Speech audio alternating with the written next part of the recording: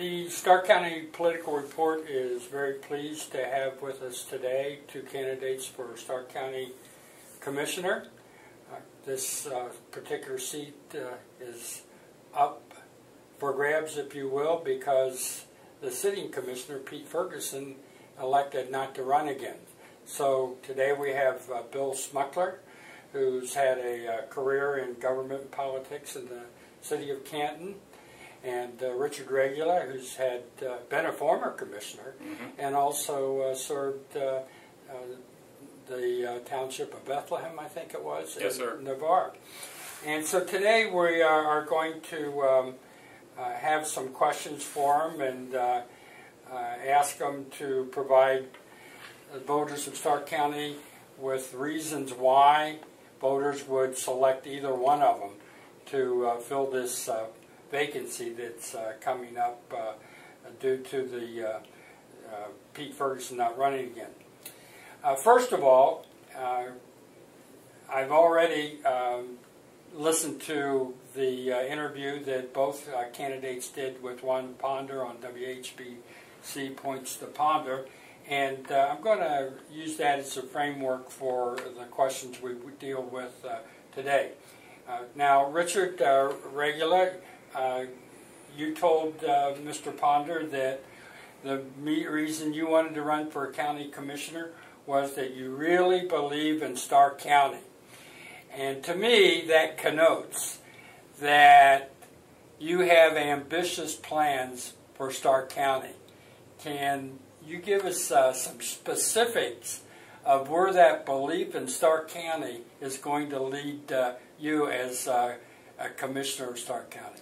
Well, I believe in Stark County because as a former county commissioner, I, I've seen the good side of Stark County and I've seen the bad side of Stark County. And I tell you, one of the things I want to do, you mentioned Pete Ferguson, is give credit to the current board of, of uh, Pete Ferguson and Janet Creighton and, and Tom Bernabei. They've really righted the ship. The boards after I left in 2006 and Gail Jackson left in 2007 had some very difficult challenges, and I think they made some decisions that I I did definitely did not agree with. But when uh, when Tom and Janet and and Pete came in and uh, and Alan Harold and Alex Zumbar put the whole uh, situation in the treasurer's office behind them it's time for the county to move forward. And I think I can bring some things to the table with my background. And in the last six years, it's really been a godsend that I have worked in, the healthcare arena because I know now how to manage large self-funded groups. Which the county, the biggest cost they have is their healthcare costs. It's roughly around $14 million a year. And I think I can help them through various, and I don't know if we'll have time to get into it, but for various doc on sites and things that they can do to manage their group to keep their healthcare costs down. I'm a believer in what ha- is happening in the oil and gas industry. I've uh, done a lot of work, a lot of research within the industry. I think it's going to re- bring tremendous opportunities to this region. There's going to be hundreds of thousands of jobs. There's millions of dollars of investment that's already gone on. And that's why I say I do not care if you sell pizza or pipe, you're going to benefit from this this whole influx of the oil and gas industry, specifically to Utica shale, because it's going to be here for a long time to come. My goal has always been, and I'm sure this is Bill's goal too, is to have our family have the opportunity and, and families within our region to have the opportunity for their kids to either get an education or get a trade and come back here and live in Stark County and raise their families. And I think Stark County is on the verge of a lot of good things because what do we have? We've got great schools, we've got great health care, well, our infrastructure needs some improvement, but the job opportunities is starting to get a lot better. Uh, the Timkens are starting to grow, and, and I think we're, we're really on the verge of some great things over the next not only 10, 20, and 30 years, but longer, and I just want to be a part of it. And uh, Bill Smuckler, uh, your um, uh, reason for running to run for Stark County Commissioner was you want to build bridges, not walls. Well, for years, uh, I've discussed with the whole community uh, about the need for communities to work together. We did this with Jackson Township, the city of Canton, and in Jackson. Uh, we created a enterprise uh, CETA zone between uh, Green um, over to Whipple, uh, over to Stark State, and to the flour factory, which gave the opportunity for any new businesses to go in there. Canton would bring water, Canton would bring um, community development dollars, economic development dollars, and Jackson would bring day to day city services to the table. This has created a working relationship with another community that, up until two years ago, never existed. We were all too worried about who was going to get the better deal or territorial, and and it didn't work out to anybody's benefit. Heck, we haven't even been able to get together on 911. That's been one of the the biggest disappointments in this county because other counties can do it. So I want to make it that it is bridges, not walls. That we what we did in Canton with Jackson, we duplicate in other communities around the county. Uh, it's interesting that you should bring up that particular example because uh, I get around Stark County a lot. People share with me viewpoints of different political personalities and candidates for office. And one uh, individual, public official, said, Well, you know, yes, Bill has all this experience uh, in trying to work out these consolidations and mergers and collaborative agreements, but what has he ever achieved with it? So this would be your answer to that criticism. Absolutely. This was an achievement. This passed through City Council, and I might add, this passed through City Council um, roaring majority that even the mayor could not veto.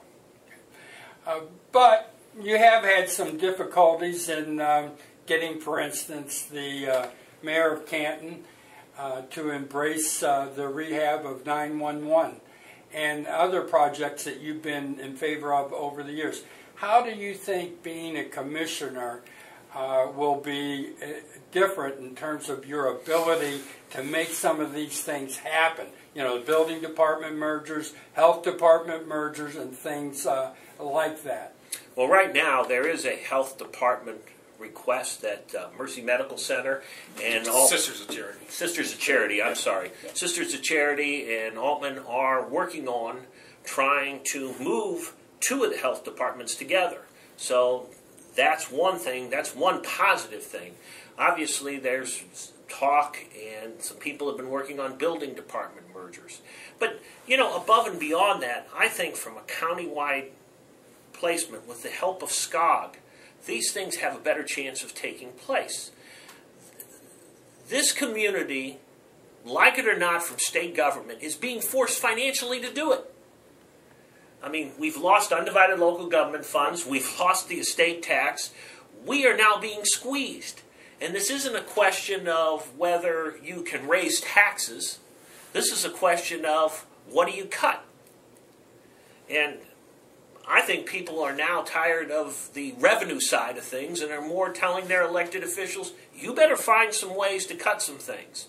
Well, this doesn't cut services. What this cuts is du- duplication of services. So I think that the time is absolutely critical at this point for to take advantage of what's going on with the state of Ohio to make sure that some of these things happen. Do uh, you differ from uh, Smuckler? Uh, on No, that? I think uh, in regards to the cuts that are coming from state government, it is going to force governments to, and I talk about smart growth, to start working together. Uh, I use as an example over in uh, Alliance. Alliance in, in uh, Washington Township and Lexington Township came together with Louisville and, and worked on getting, with the Alliance Development Foundation, worked on getting that some of the funding to put together the uh, Beck, I think it's called the Beck Industrial Park that Chesapeake's going on to. We've got to break down the bar- barriers in, in Stark County.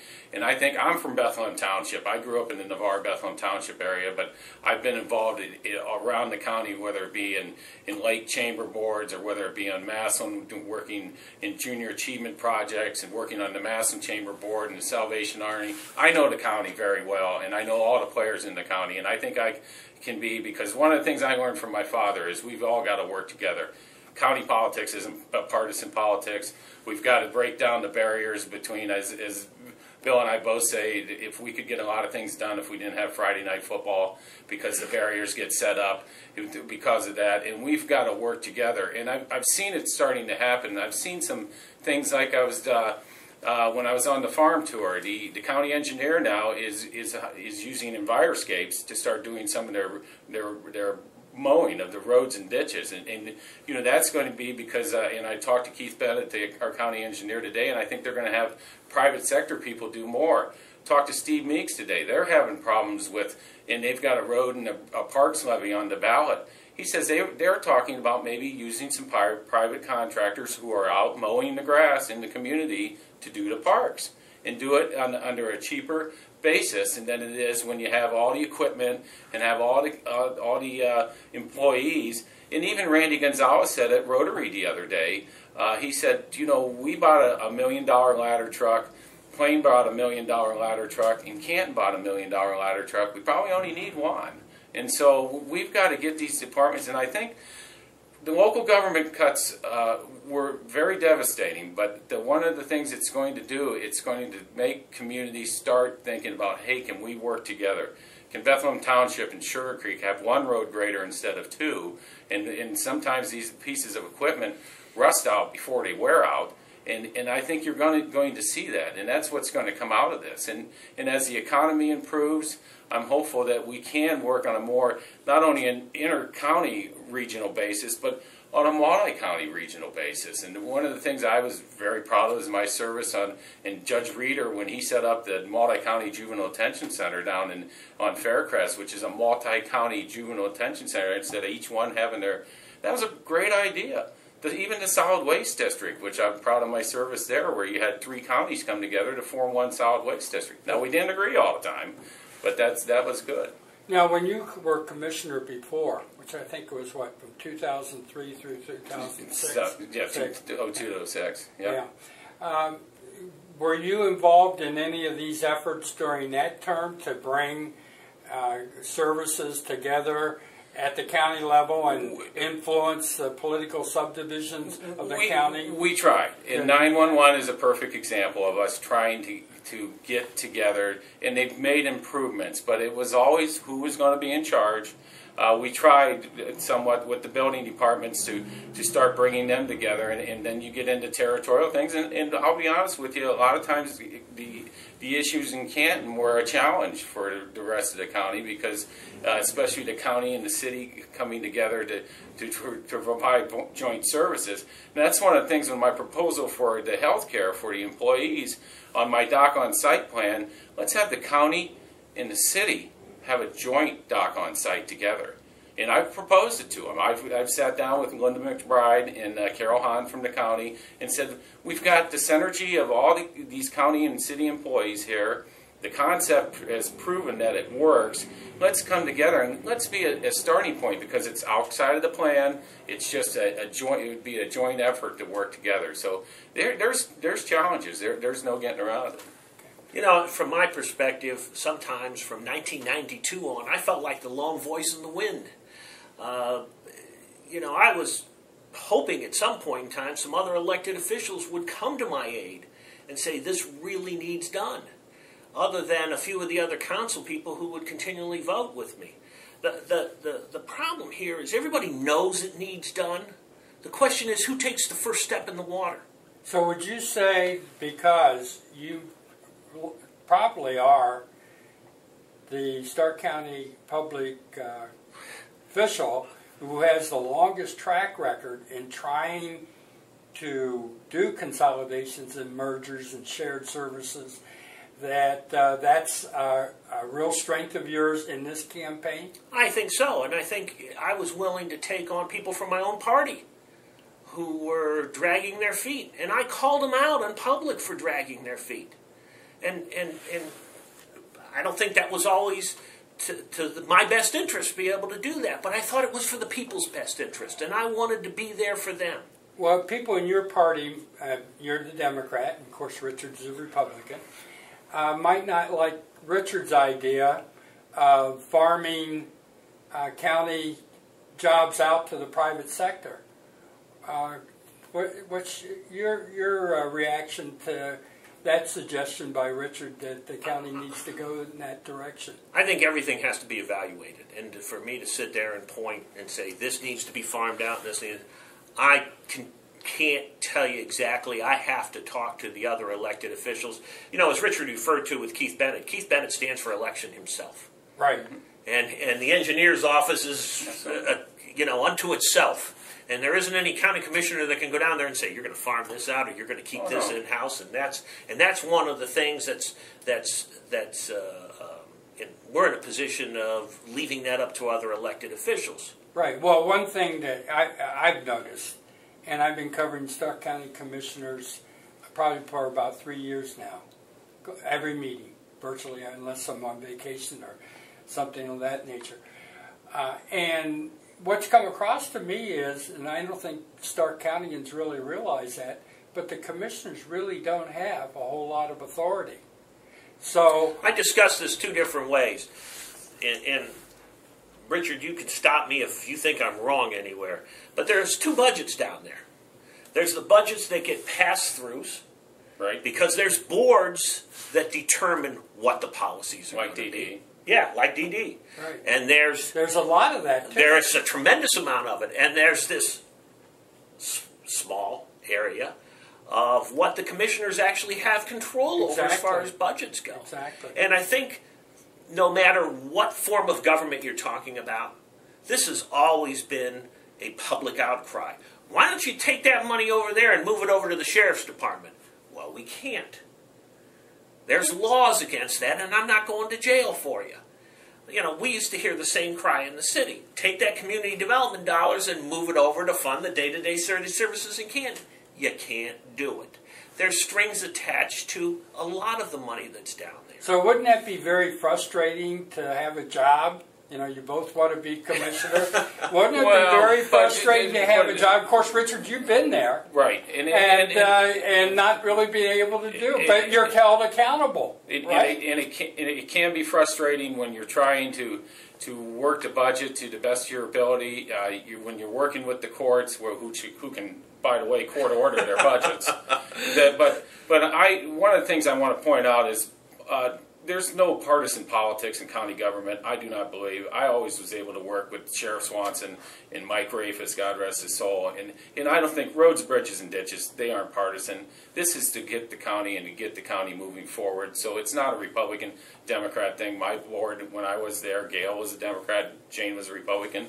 We never split across party lines. We tried to get get things done. And and that the only thing where I think the the commissioners now can have an influence uh, is that by saving money on healthcare costs, by investing the casino money that, and of course no one knows exactly what that's going to be that's coming in, to to work with the county engineer, get the jail back up to speed, but use some of that money because we've got a tremendous infrastructure problem that we've got to address. and we're going to get into that in a Okay. little bit. Okay. Uh, so it's a frustrating job. Uh, probably the best thing you can do is to use the bully pulpit of being a county commissioner But to get some things done. I, I liken this to a city councilman's job or a trustee's job. That you are a county trustee or a county city councilman, and then it's just because when I go out in public and say, "What does a what does a county commissioner do?" and I liken it to that because there's a lot of times, whether you're a trustee or in city government, you get federal dollars, you get state dollars, you have strings attached to those dollars too, and you make decisions based on that. Or what you try to do is you try to push and nudge and and feel your way through of trying to get different agencies to go along with what people are asking for. But I think the other role of a county commissioner is to be out in the field, talking to the people, out working with the state legislators and the, and the federal officials, out working with one of the groups that we really need to have a long conversation with on the drainage is the Muskingum watershed. I know John Hoopingarner, and, and get be out there and also be out there attracting people to your area, talking to the the oil and gas companies that have they can go to different areas and making your area attractive. I try to do it in my role in, in what I'm doing at the hospital is going out and going to Columbus and talking to these groups and when they, they come in here to set up uh, and, and they're going to be here for a while to come, where are they going to want to live? They're going to want to live in not only Stark County but our region because of the great schools, the great infrastructure, or not the, the great schools, the great health care, the educational opportunities that are going to be here. And that's the to get. And I, if I had to do over again, I would have been more active as a county commissioner out in working with uh, the businesses that are out there that are you know have choices. And, and one of the things I'm disappointed that when the commissioners had some some budget challenges is when they cut the, the, the economic development arm of the county is the start which, development. Which we're going to get into okay. too. And uh, so um, you want a, a new opportunity to learn from your prior experience, and you think that that experience is a selling card for uh, Richard Regula as the next county commissioner. I don't think it hurts. Okay. Uh, Bill, uh, I looked at one of your campaign flyers, and uh, I, one statement that you made uh, on there that really caught my attention, and it uh, is as follows: I have a plan to get Stark County back to work and provide a brighter future for all our residents. And the word that jumped out at me was the word plan. So, exactly what is the plan?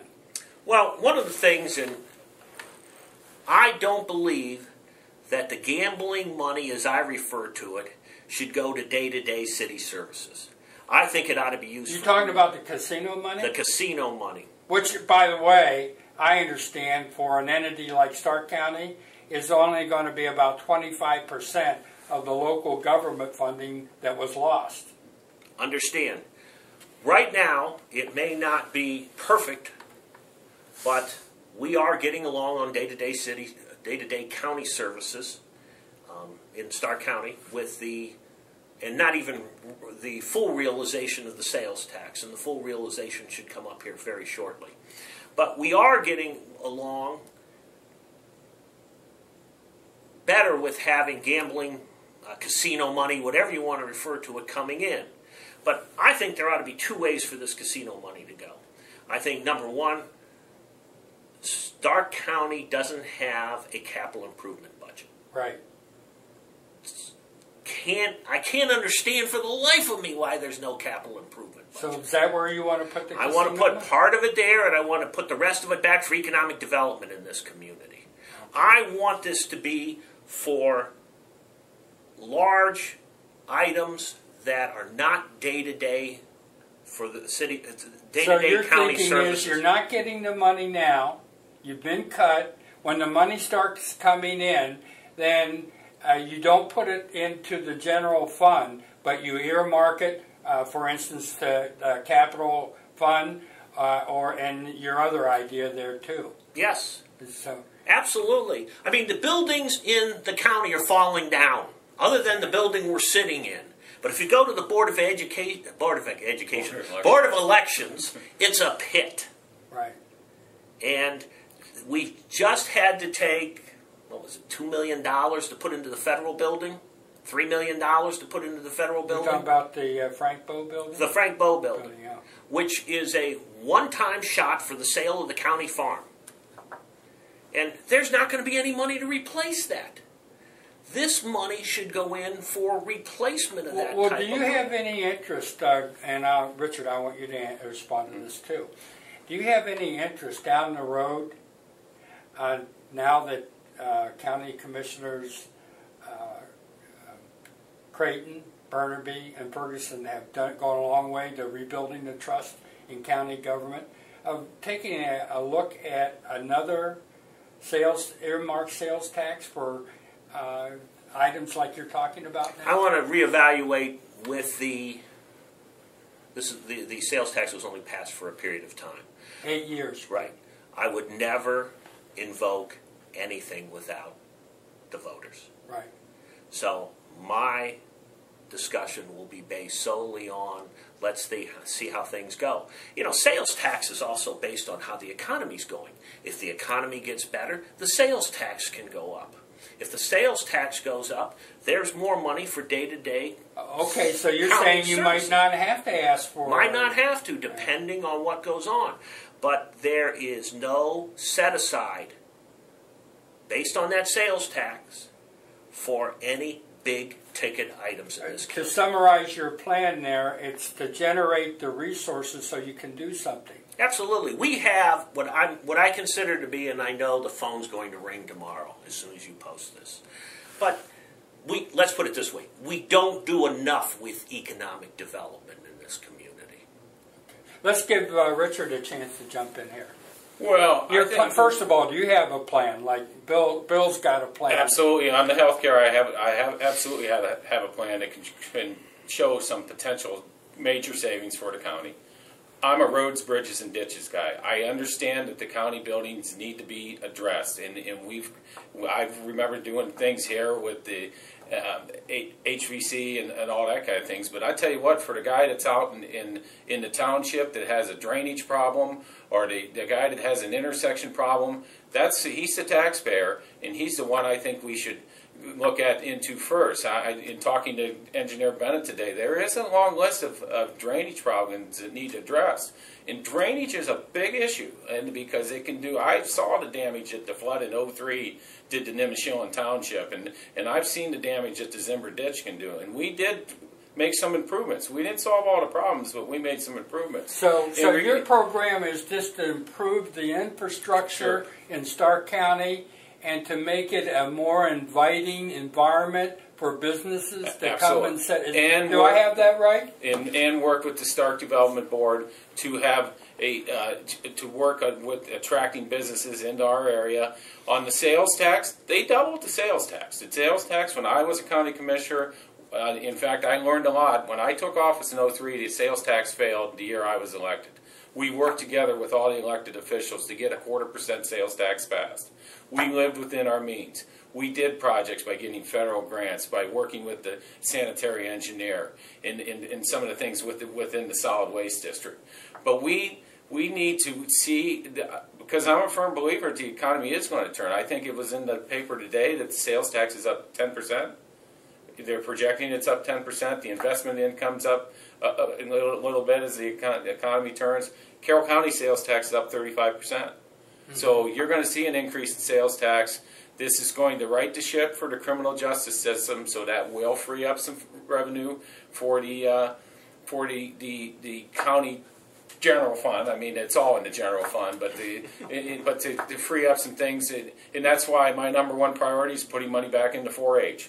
4-H may not seem big for a lot of people, but it's big big for the, the agriculture community. I've seen the benefit of 4-H when they cut that hundred thousand dollars. Now, to the commissioner's credit, they restored it to restored it to 50.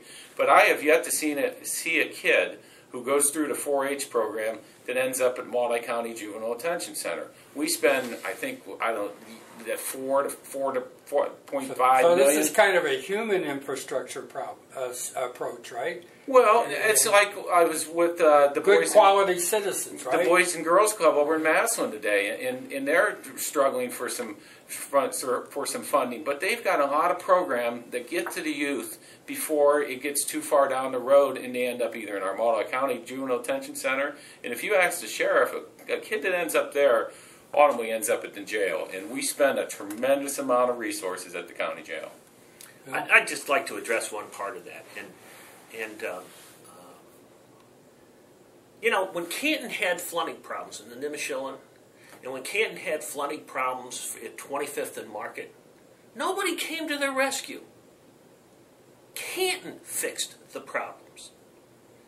And I guess this is one point that we disagree. I don't want to sit here and hope and pray that federal dollars are going to show up one day and take care of the flooding in those other Yeah, communities. but for your approach to work, and I heard it uh, on your exchange with uh, Mr. Ponder, is uh, you're talking about North Canton taking care of its I problems. think it's not just North Canton. I don't want to call North but- Canton or Plain out. I but think they have to all. I know that, but don't they all have to come together? And w- this is one problem, really, that goes through each of their communities. And is isn't this in line with your collaboration model, your working together model? it's called bridges, not walls.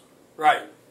And I spoke to Mayor Held, and I spoke to um, Louis Giavasis, and I, Louis said to me, if North Canton's willing to help fix these problems, he'll go talk to his township trustees about fixing these problems. And you're sticking by. We've got to do it on a regional basis. Basis, because federal All money. you do, well, if available, but watershed, Muskingum watershed, Watershed. money, uh, any sort of local matches that we can come up with, any sort of state matches we can come up with, because you can fix the problem here, and that exasperates the problem here.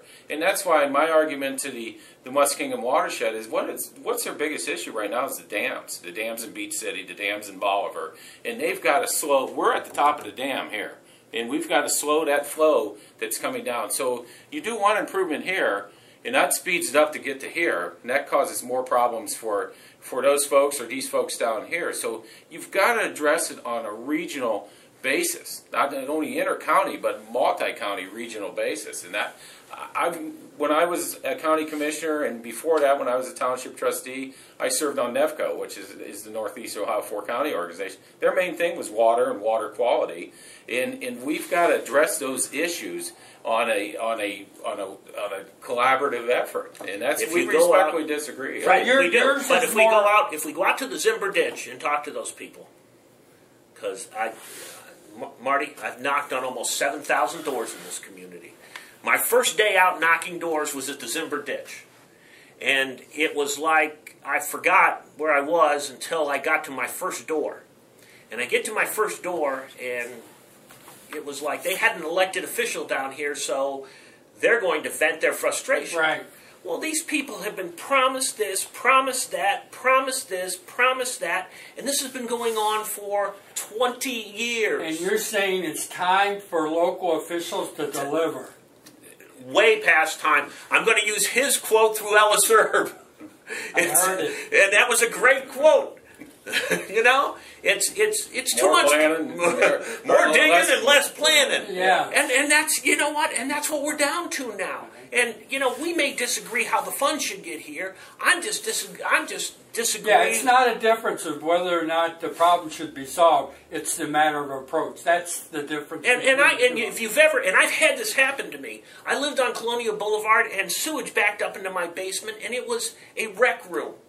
Once you have that happen to you one time, and then the insurance company says, "Well, we don't cover that because you don't have a special rider," and those people down at the Zimber ditch can't even get a rider. But that being as an example, what we did, we saw that on, you talk about sanitary issues and sewer backups and things like that. When we did that retention basin out, out on 12th Street, uh, that was a collaborative effort with the, the Stark sanitary sewer and the Massillon sanitary sewer because they had to start holding that water back. We took a lot of grief on that project. I think, we think it was 521, and we built when we built that tank to, to slow the water down. But that's where what happens once again upstream is on me because what happened when all that water was flowing yeah, through? well, that was my point to Bill and Yeah, his and more then- local approach. Is that that could be a problem if you don't treat the total problem. If you go back and talk to the current county commissioners, they'll tell you it starts in green. sure. right, they will. That's why it's they a will. regional I've issue. Right. it. Right. Well, but do you tell the people of the Zimber ditch, we'll get to you in another 20 years? I, I, I, you know, and like I said, we just respectfully disagree. I can't sit there and do, after you have this happen in your house one time, just Right. one Right. time, you sit there and you look at every elected official that comes your way and you sit there and say, you're not taking care of my needs. So your position is it may not be a total fix, but you have to fix what you can. Absolutely. Okay. And I'm, and You would like a more complete fix. Well, because if you if you don't do it that way, it's it's, it's still going to be a continue to be a problem. And, and, one of the other things too, I learned I learned a lot about ditches in my four years. Is people got to take some personal responsibility of not filling the ditch up with debris and trees and, and yard clippings. When that flood happened in 2003, there was Greentown lost a fire truck, and in, I think it was that's technically Lake Township. And when we went back and looked, the yard service or whomever was mowing the grass had plugged up the catch basin, and so that water came in so fast and it backed up. I was out on a ditch with Lee Laubacher in Perry Township. A, a fellow came up to me crying at the fair and said, "My ditch backs up. I get sewer and this and that." We went out. He had thrown tires, yard debris, and everything else in the ditch. And a lot of problem, times that's the problem. If a tree falls, call your brother-in-law or, or nephew and say, hey, you want some free firewood? And start, you know, working on it. We've got a tremendous amount of issues that need to be addressed with, with dredging and, and, and, and you know that's another one, Martin. It's when all of a sudden the, the guy shows up to start dredging, you get people go, whoa, Right, right. wait, wait a minute, we saw that too. Well, now let's move on to 911. Uh, a former commissioner had this grand plan to put impose a sales tax, which I'm sure neither of you two would ever do. Lesson learned on that. Of course, it got repealed, but it did generate some money, and uh, I think Stark County has probably put, uh, or at least has reserved to put in, uh, about two and a half million dollars into completing the fix of uh, 911, which the need for a fix started back in July of 2007 when SCOG, the uh, Stark County Council on Governments, uh, commissioned a study by GeoComm, who basically came back in February of 2008 and said 911 is, is broken in Stark County. Uh, so uh, it's uh, fallen on hard times because of the same issues that you've talked about already, the turfism in Stark County. What would each of you do, uh, if elected, as Stark County commissioners, to break the logjam? You know, today I just talked to the commissioners. They just put out bids. Are going to be put out November first for the CAD system. And I said, "Oh, the system, it's 911 is inching along. Can either one of you bring anything uh, to the office of county commissioner to get it moving more than inches?" Uh, I'll go, I'll go first this Yeah. time. First of all, I was going to say, I can. uh, I, I, First of all, let, let's start with this. And, and by the way, I think to the viewing public, you know, 911 is emergency call receiving and dispatch. That's how you get your fire, your police, and your ambulance. It's very vital uh, to Stark Countyans. Richard will tell you, and I think agree with me, that we still have pockets in this county that people cannot communicate from one end of the county to the other. This is a big county. The main bugaboo seems to be what's this worth after 10 years? Because this is no different than a radio. The truth is, this isn't worth anything after 10 years. Anybody going to try to resell a radio, a cell phone, anything after 10 years, you can't get anything for it. The hang-up's always been, what are all these radio systems worth out here in the county? And everybody tells you, because no one has a brand new one, everybody has 800 megahertz, and it's 5, 10, 15, 20 years old, depending on what system you're in. None of their systems are worth much. There's a few people with new ones, but they're, they're well, few and, and, and we between. did through a Yeah, federal- but what what are you Well, but let going me, to do to move and, and that's my along? point. Right now, there is a state bill to sort of bypass all the players in this thing and move this along and make it happen because the state likes regionalization. And they're handing out money, not just for this, but for other aspects of having re- regionalization. Mm-hmm. I had Is this the I had- innovation fund? Is that what you're I'm not about? sure what they they're called. I know it's coming through the auditor's office, I believe, in a lot of instances. Yeah, local Well, government. There's a local Through the, through the state auditor's There's office. a local. Okay, you think this is specific to Right. 911? Well, I think in a lot of instances, the the the point I'm trying to make is I had lunch with Mayor Healy three weeks ago, and he admitted it's coming with or without him. That was his exact quote with me. And I went over the phone aspect, and we went and had a more uh, civil discussion of what we really knew, need to do to get 911. Um, you know, the, the analogy of 17 Friday night football games is not a bad analogy. We've taken this to the umpteenth degree of having it on every aspect of services in this community. But what we have to start sitting down, and this goes back to what I said with the state. There's no undivided local government funds coming. There's no estate tax coming. People are being pushed, shoved, kicking and screaming all the way in some instances, of being forced to do some of these things. So are you telling me you don't think that a commissioner is going to be that relevant to the process, that the state is going to force this issue, and so it's uh, really not a factor uh, that you have to concern yourself with? I think that, it, it, in my opinion, this is coming. This will probably take a vote of the commissioners. It'll probably take a pass through in some instances for the money that will be matched and readily available. But there are other aspects of this thing that are being pushed along. And I think that the commissioners will might have a difference between what system it is. But you think it's going to be a state I thing? think it's finally going to take place. Richard? Well, I think it's it, it has taken some baby steps. One of the things I was uh, happily to see was that the county dispatch and the sheriff's dis- dispatch are actually in the same room. They used to be in the same building, but now they're in, actually in the same room together. Uh, we did do some things with the 800 megahertz radio. We've ran into some barriers there where the guys would pick them up and, and, and just say, well, we, we're used to our low band or whichever band it was.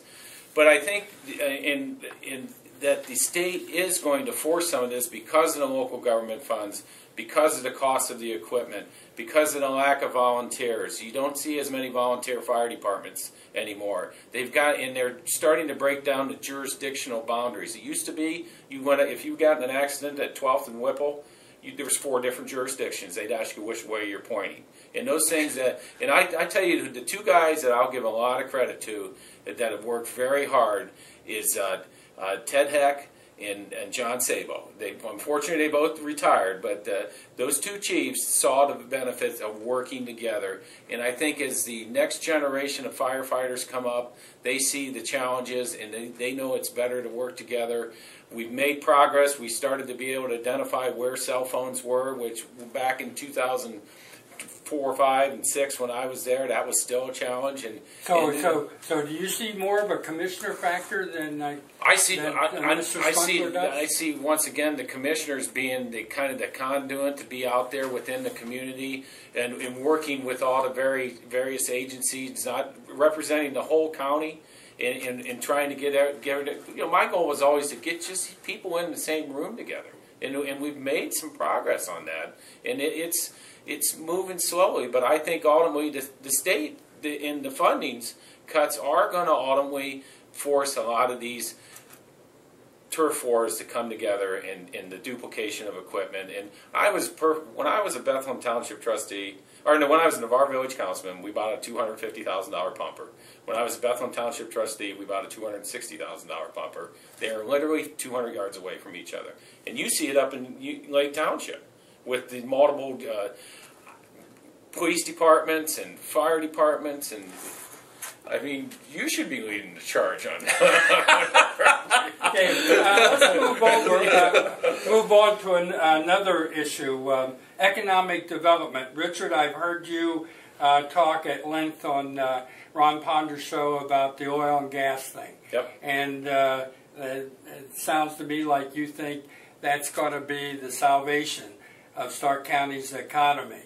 Uh, do you share that, um, Bill? Now, I think the salvation of Stark County's economy, and I mentioned it on the Ponder Show, um, is more along the lines of doing some things. Uh, I discussed in there with about what Mark Dowd was doing downtown on expanding broadband throughout the state. He signed a contract with the state of Ohio to expand broadband all over the state. And, eh, you know, in some instances, when you're 57 years old like me, um, you've got to be taught by your kids what different things are.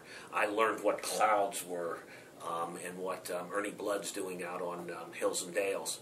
Um, clouds I thought were in the sky, but if you if you talk to your kids, uh, they know Apple Computer. They know that they're saving and backing up, and we're becoming one of the hot areas for this. Uh, University Hospital is now backing up all their records in Canton, Ohio. And I think that the way to go about this is to do more on the tech basis for permanent jobs. You know, when, when, you, when you talk about fracking, there's two types of jobs.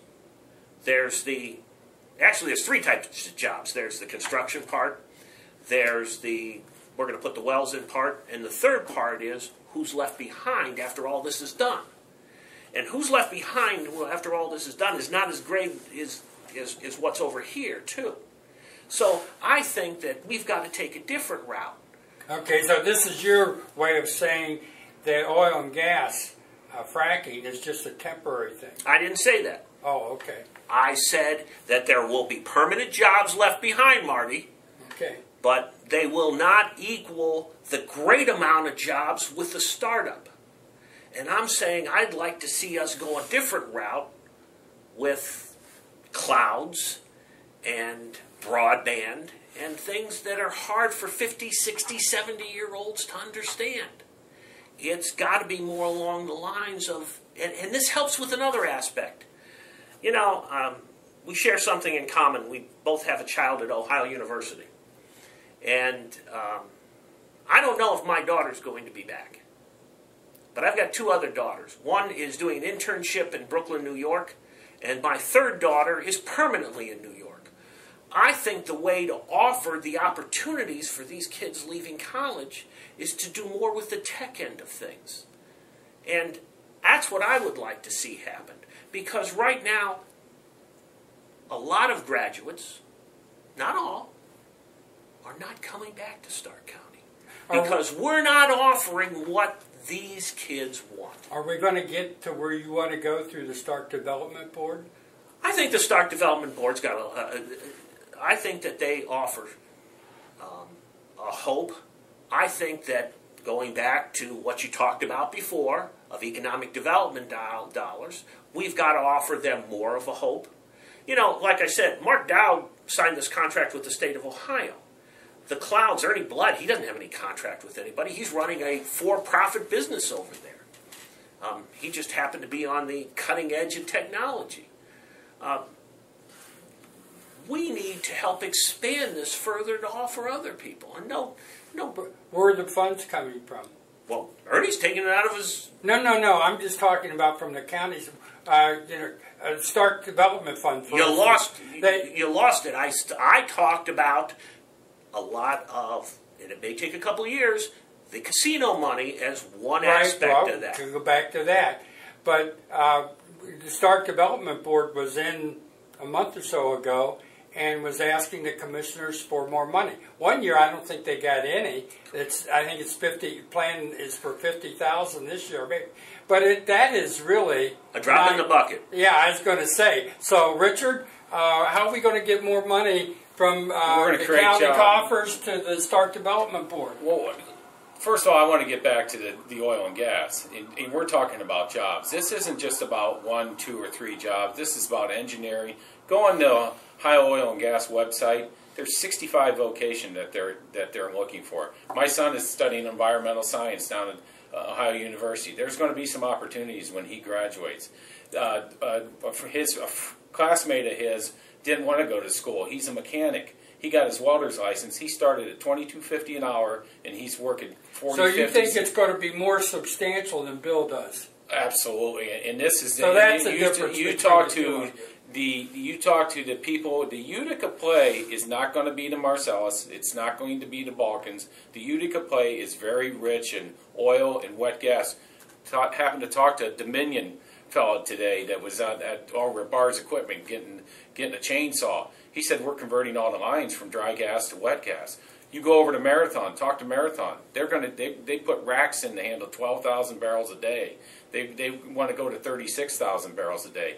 Chesapeake doesn't make the inve- investment in Louisville if they're going to be here 5, 10, 15 years. This is a 20, 25, 30 year play. What made Stark County and this region great was our industrial backbone in, in ability to make stuff. You talk to the pipe, the plumbers and the pipe fitters, and talk to Barry Evans at the trade unions. They are out training people. They look at this as the greatest opportunity to hit this region in a long, long time to bring good.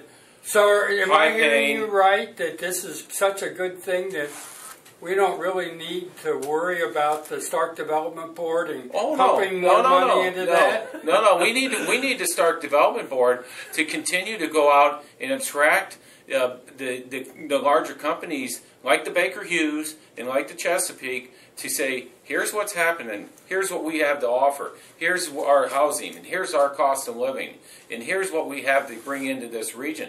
They need to have somebody that's going out and going to the trade shows and getting involved to attract and continue to attract people here. But I tell you what, there's a there's a, a lot of engineers that are in this in the building next door that have moved their operations here that have brought 10, 15, 20, 40, 30 jobs and they're hiring local people. So those are engineering jobs. There's you talk to people in in the local Ford dealership. Look and talk to uh, Brad Black at Downtown Ford. They're selling cars. That ultimately spins off and helps people in Detroit. You hear a lot about cars in the in the presidential Okay, so, but do you agree that more money has to go to the Stark Development Board from the county? Yes, sir. And was it gonna come from the casino money or where? Well, it's going to come from a combination, once again, of increased revenue in, in sales tax, hopefully some casino money. I, I mean, there's a finite. Uh, Ideally, how much money would you like to put into Stark Development? I think we fund. I'd have to look back, but I know we funded them at least a half million, if How not about a you. Bill? Me? Yeah. Ev- for, for jobs in this community, every last dollar we can find. Okay. Uh, one other question on uh, oil and gas and fracking. Yep. There is a very active environmental group in Stark County, Stark County Concerned Citizens. And they're going to be all over either one of you as commissioners, especially you, Richard, if you get elected because you're so bullish for oil and gas. They're not. How you? How both of you? You know, Bill, if you get elected, I think your track record is that you've demonstrated that you really uh, are into the environmental side. Well, So it- how are how are both of you going to deal with this? Look, you talk about somebody that's got an environmental background. Yeah, you I, work I, with the landfills. I worked with the landfills. We stopped landfills. I know the greatest thing we have in this region is a fresh, clean water supply. I've talked to healthcare providers across the country, everywhere from North Dakota to Texas. We've had people from Williamsport, PA, people from Waynesburg, Pennsylvania, and these are just either elected officials or chamber people. I have yet to hear of one fracking incident. These guys are extremely safety conscious. Can mistakes happen? Mistakes can happen at a, um, a large manufacturing facility. so you But- just don't think there is much of a concern about. Uh, You've always got to have concern anytime you're drilling into the earth. But my but my larger concern is still landfills, and we've still got two of the largest landfills, and we've still got, and, and to their credit, uh, more than fracking is, is Uh, landfill. Because our water, I I grew up on well water. I still am on well water. Our water table is pretty much fifty to three hundred feet, and and I I I know what can happen when when they're mining or when they're uh, uh, you know like they're taking the sand and gravel out. That can have an impact on your water supply. I, I understand that, and we've got to be protective, and we've got to work with the regulatory authority. And one thing. You can say what you want about the legislature, but when they pass House Bill 165, it's some, some of the strongest standards in the nation. But it also took away local control. That and and uh, uh, the But, uh, the other the House well the House Bill 278 and Senate Bill 165 took away a lot of local control. Either one of you want to uh, try and convince the legislature to go back and give the local government more authority, Bill? Can I say something? Yeah. Um, you know, I'm, and I think I'm, I keep getting this represented here because when you digress and, and talk about three different instances, sometimes things are taken out of context. The bulk of the jobs are always at the beginning. The, the second test is when we've quit drilling and then there's others. There will be a lot of jobs left here for But it's not a cure-all, But it's not a cure-all, and that's what I'm saying for the You think it, it really my is? my concern my concern for the health those earthquakes didn't happen in Youngstown by accident. My concern is what we're putting into the ground. Canton's water, aqua water in Massillon. This is all affected. And they call it trade secrets. Well, I shouldn't believe that there should be trade secrets when we're pushing chemicals into the ground to bring the natural gas up. So Our water supply, as you know, Marty, is basically an underground river. which is not that deep. And my concern is they took local control away. It's now the state to make the call. So the county commissioner's office doesn't have a say on who's going to be able to drill and who's not going to be able to drill. And you know, this is like saying, well, you're you're what do you have to and, and we get these t- calls all the time. I'll go knocking on and say, well, how do you feel about abortion? I don't know. I'm not on the United States Supreme Court. You know, how do you feel? And Richard, you get the same kind of questions.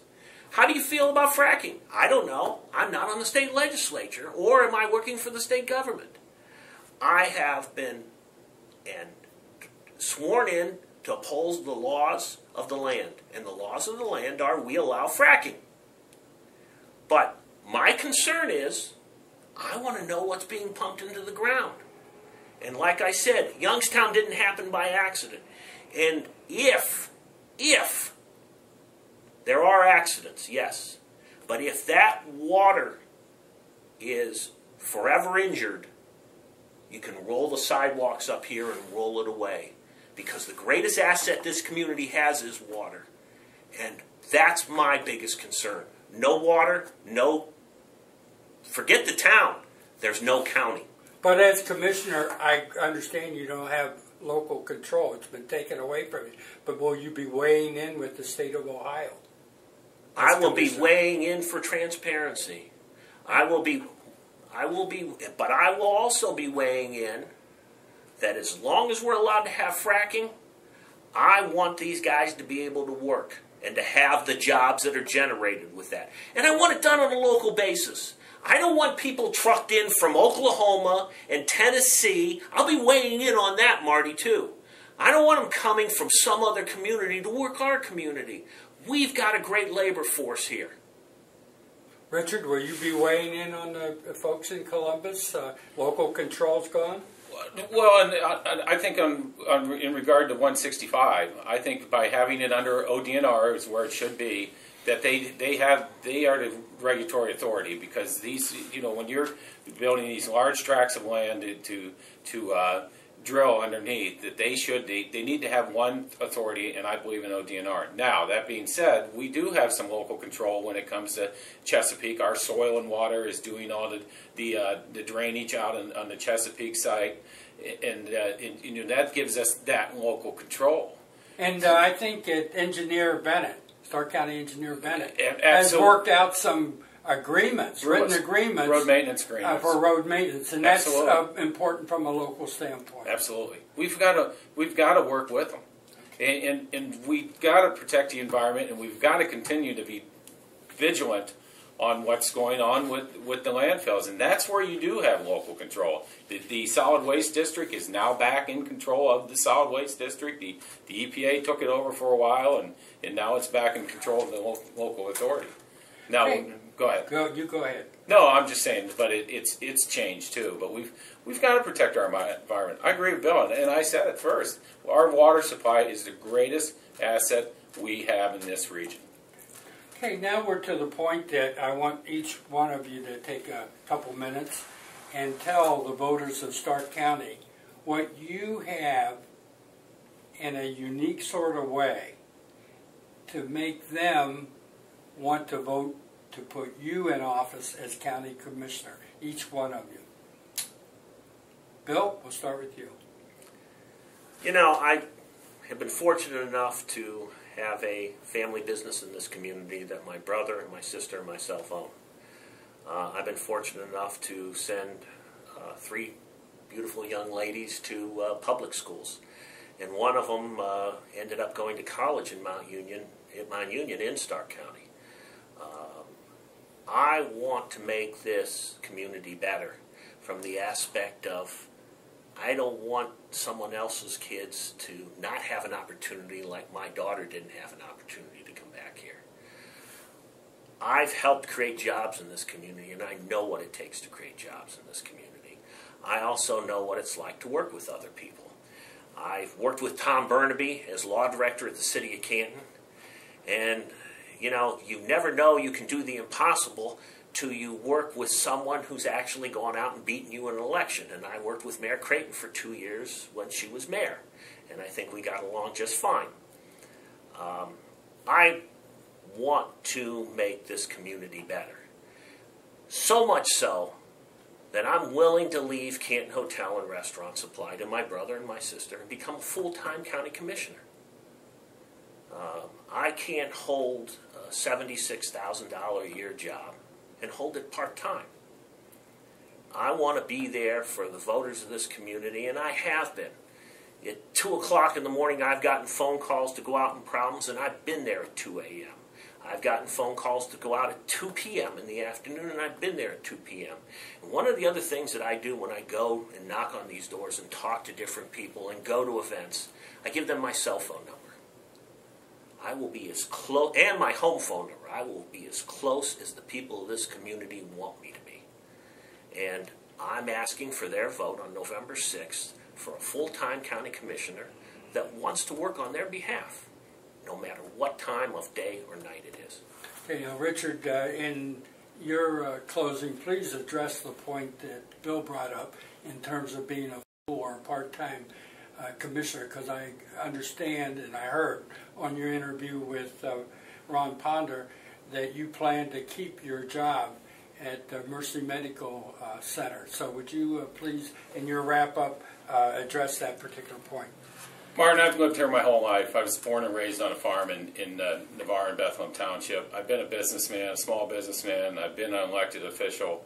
I've worked in the medical field for the last six years.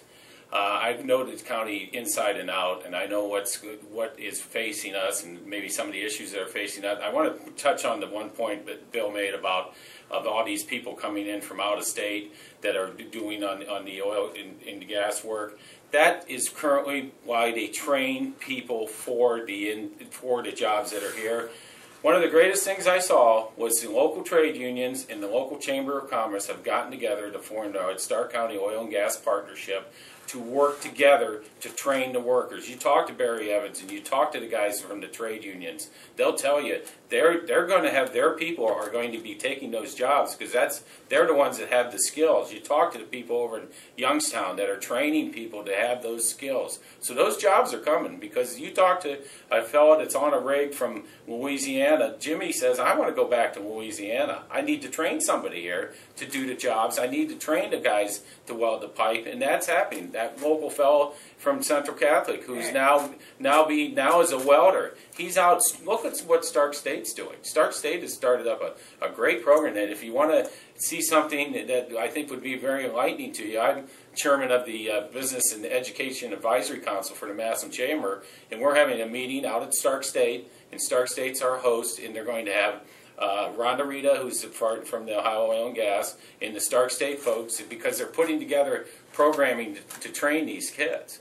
And you're, as commissioner, going to be monitoring uh, the local factor, Absolutely. these jobs Promoting the local factor. and Absolutely. you want these jobs to be Stark County Absolutely, jobs. and they will be. If you right now, if you can, and the biggest challenge they have, Martin, is passing the drug test. But if you can pass the drug test and have a CDL, you can you can basically name name where, where you want to work and when you want to work. I mean, it, it's it's it's out there. The opportunity is out there. Okay, you want to go ahead and. Uh, On the issue, we have enough full-time politicians. I am going to keep and work with Mercy. I will. I know the job as a county commissioner. I will not miss any meetings. I know what what it entails to do the job, but I don't think that by saying, "Well, I'm going to be a full-time county commissioner," part of the county commissioner's role is to be out in the field. That's part of the role I do in my job now. And and I don't what you know. One part of the problem is when you get full-time county commissioners, they are full-time government um, elected officials, they work to keep their jobs because they know they're only as good as their next election. I'm going to keep my job. My my employer has been very good to me, and, and he gave me an opportunity. I enjoy what I'm doing there, and I think Friday was a perfect example. I was out at Chesapeake's working with the local employer groups that are out there in my role. But that's when I saw some of the issues that they're having with wetlands and government and, and things like that. So I think I can mold them in together. And, and you know, if you want to, um, I just think we have enough full time okay.